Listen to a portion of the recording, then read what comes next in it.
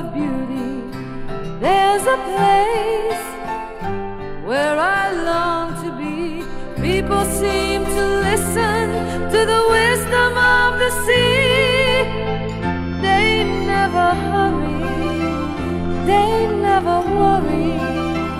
They take the tidal waves the way it's